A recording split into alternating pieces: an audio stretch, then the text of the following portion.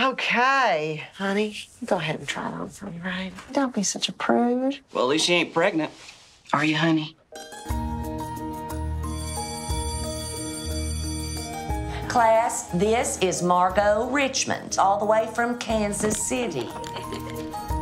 Well, if it ain't all stinky draw.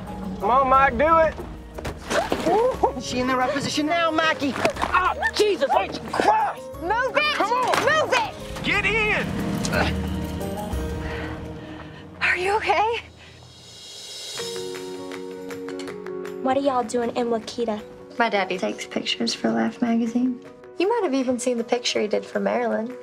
Marilyn Monroe? Well, who else?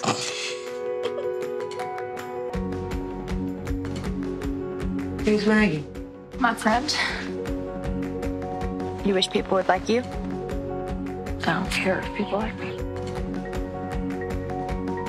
It doesn't matter if I change my hair. I'm still the same girl I always was.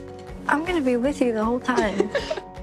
Iris Dearborn, is that you? I've never seen you all dolled up. I hardly recognized you. You look beautiful.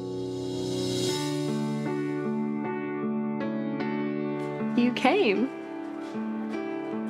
Hey, Iris. That gorgeous boy just said hey to you. I know. Well, why don't you say hey back? Because I might throw up. Maggie, we know you're new, but it is essentially stay away from Iris Dearborn. Something's wrong, I know it. I can always tell when you're lying. I'm not lying. Honey, you think this girl is your friend?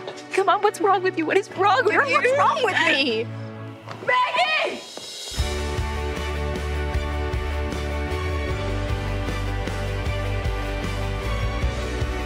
You're the only girl in this town who's not phony.